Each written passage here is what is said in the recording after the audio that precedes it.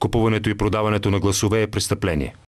Кандидатите за евродепутати от ВМРО Българско национално движение Ангел Джамбаски и Карлос Контрера се срещнаха в София с представители на Българската асоциация на стартъп компаниите. Те разговаряха за бъдещето на бизнеса у нас и очертаха основните проблеми в сектора, като стигнаха до извода, че първата стъпка е промяна в образователната система.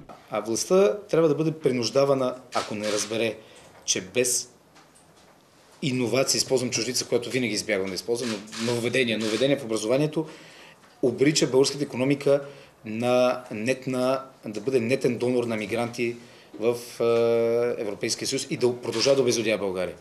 И тук всяко ваше усилие би било безмислено в дългия период, ако не намерите хора, които да го работят.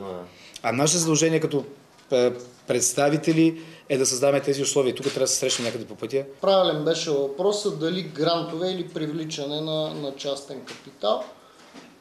Правилен е отговора, че с грантове и с а, субсидирани програми, като че ли не постигнахме ефект в която и да е сфера.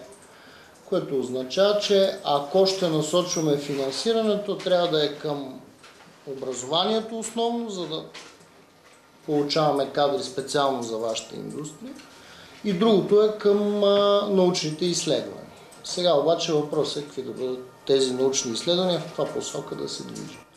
На национално ниво, вероятно, начина по, по който се действа не дава необходимия ефект. Говорихме за, за свръхрегулациите.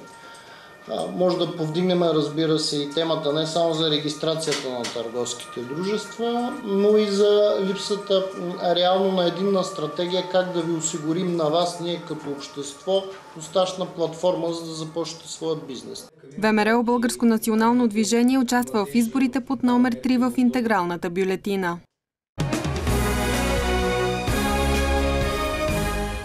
Купуването и продаването на гласове е престъпление.